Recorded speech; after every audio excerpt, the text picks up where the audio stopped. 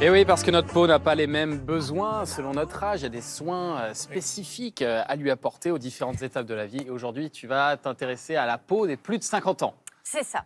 Alors, Fabien, Gérard. Gérard. non, Gérard, Enfin, il a que toi. 35 Enfin, et, les, les moins vont quand même écouter aussi. Oui, oui. Voilà, c'est ça. Parce que, alors, sans promettre de miracle pour les peaux qui sont déjà ridées, mais je m'adresse aussi aux, Désolé. aux, aux- aux jeunes, euh, on peut toujours faire de la prévention et limiter les signes de l'âge sur la peau. Alors, pour les plus jeunes, sachez qu'il faut commencer dès. Est-ce que vous avez une idée de l'âge à peu près? 35, 12 Ouais, ans. mais- 30.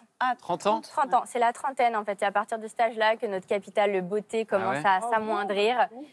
Et donc, euh, prévention, prévention, euh, comme souvent. Mais alors, quels sont les facteurs qui vont accélérer quand même le vieillissement Alors, on sait que outre la génétique, il y a aussi euh, votre alimentation, évidemment. Il y a, si vous fumez, le cigarettes, tabagisme, hein. on sait que c'est assez Ouais. délétère.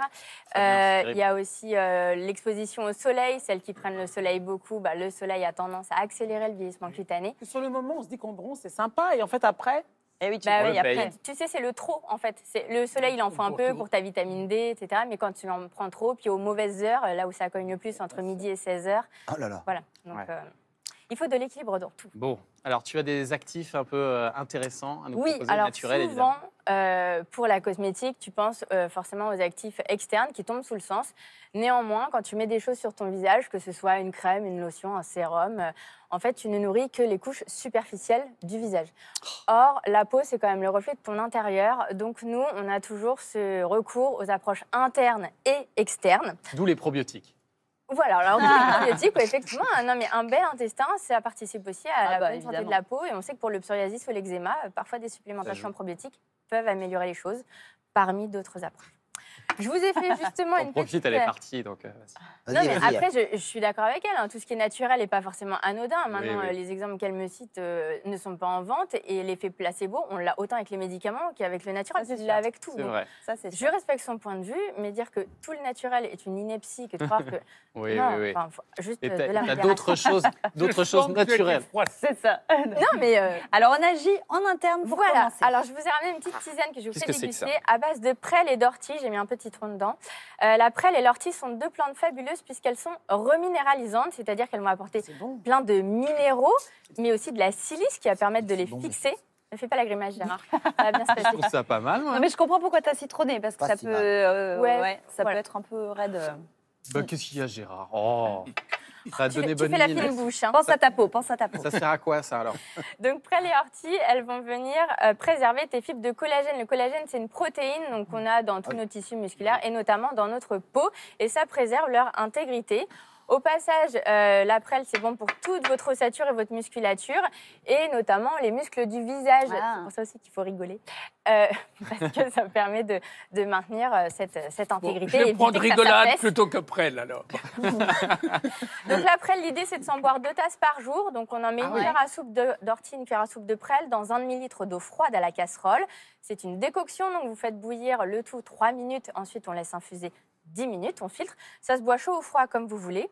Et ça, on en fait des cures 3 semaines par mois, assez régulièrement. Et c'est vraiment des bonnes plantes Mm. qui accompagnent l'anti-âge au global, euh, cutané, mais aussi au Ça élimine les toxines aussi. Hein. Ça va drainer effectivement les toxines par les reins, donc c'est toujours bien. Ouais. Et il n'y a pas de contre-indication euh, pour ces plantes-là, si ce n'est le premier trimestre de grossesse, mais normalement, à Ah la oui. cinquantaine, vous n'êtes plus concerné. Oui. Et alors, tu as une solution spécifique aussi pour euh, préserver l'élasticité, la souplesse de la peau? Oui, Maya. Puisque en fait, notre peau, pour vous faire de façon très simple la chose, ce sont des fibres de collagène, donc des protéines qui sont enchâssées dans des phospholipides. Les phospholipides sont des graisses, mais qui permettent la fluidité membranaire et donc la souplesse et l'élasticité de la peau. Donc pour ça, ayez recours aux capsules d'huile de bourrache et d'onagre. Alors Ah. parfois, il y a même les deux qui existent ensemble. Là, j'ai Oui. ramené que bourrache. En combiné. Ce sont des huiles qui existent aussi en huile cosmétique. Le souci, c'est qu'elles s'oxydent vite. Donc, c'est pour ça que je les préconise plutôt en forme de capsules huileuses. qui- dans ce cas-là, elles sont protégées de l'oxydation. Et on en prend trois petites capsules le soir au dîner. Et on fait des cures, là aussi, assez régulières en faisant des petites pauses de temps à autre.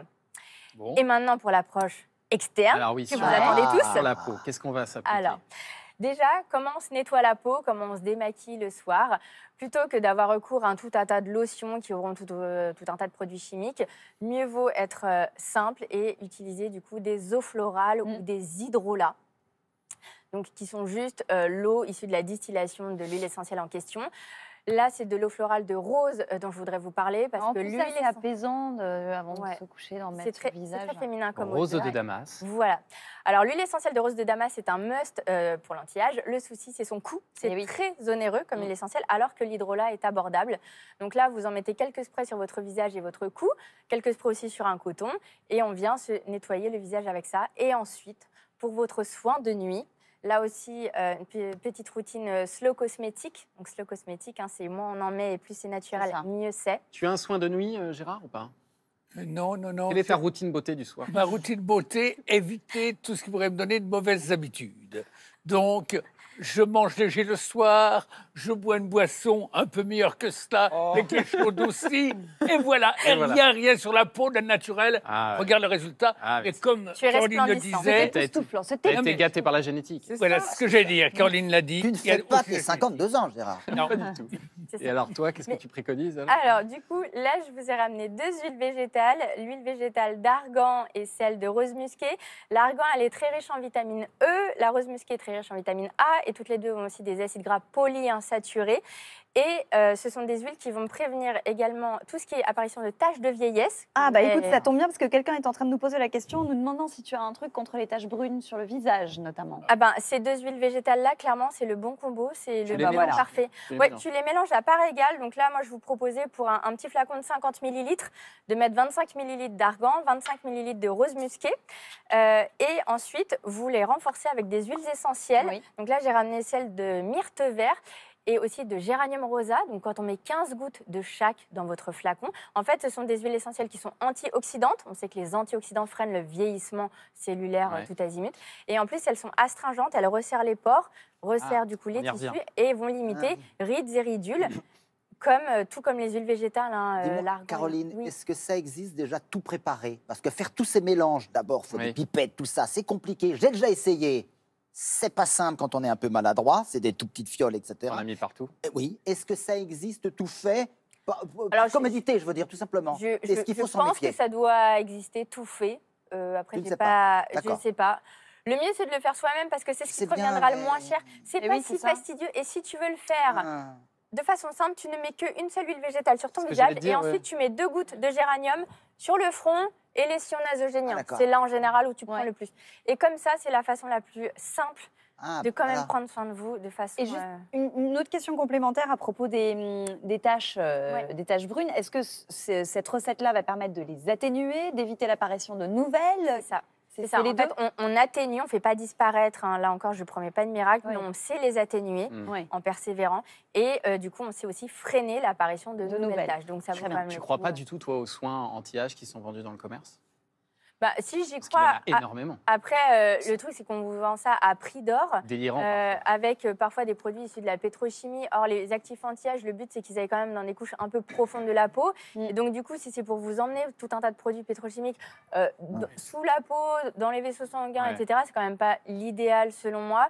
Euh, Il y a parfois tout un tas de parfums qui sont plus ou moins hormonaux, tout ça. Enfin, voilà, dommage. je- ouais. Et puis les tests. Voilà, je trouve ça dommage. Euh, les principes actifs en général seuls sont bien, mais après c'est tous les enrobages que tu as à côté qui sont pas toujours si clean. Ouais. Là, tu maîtrises de A à Z le process, tu sais que rien n'est frelaté, touché. Enfin, voilà. Et après, il y a aussi l'action mécanique qui est importante sur les Oui. rituels anti-âge, donc la manière dont on va étaler les crèmes et puis les exercices qu'on peut faire C'est aussi ça. avec le Donc visage. toutes vos crèmes, effectivement, il faut toujours aller du bas vers le haut. Donc il faut masser comme ça et comme ça et souvent et pas comme ça, Bah oui, fait parce comme que ça. sinon tu Ah bah, de la pesanteur. Eh Bah oui. On a fait ça. Et, euh, et après, il y a aussi des exercices Oui, de gymnastique faciale qui sont intéressants. Ah. Il y a aussi le yoga du rire. Il y a euh, voilà, toutes ces choses qui permettent de muscler vos zygomatiques, hein, les muscles des joues, et qui du coup ben, vont permettre que vous ayez un bon maintien et, et du coup une bonne tonicité de votre peau pour qu'elle relâche le moins vite possible. Juste un